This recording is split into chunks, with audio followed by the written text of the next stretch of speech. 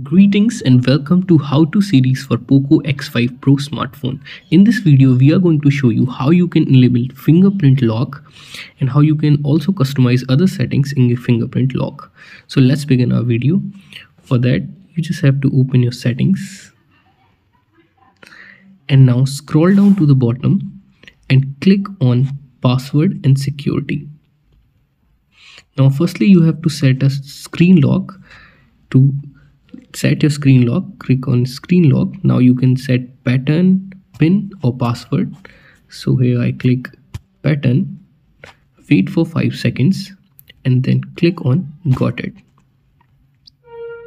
Now draw your pattern confirm your pattern and click on confirm. Now here click on cancel.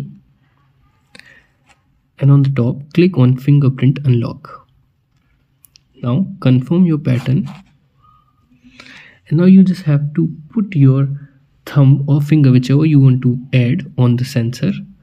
Now keep on adjusting the finger until it completely captures your finger.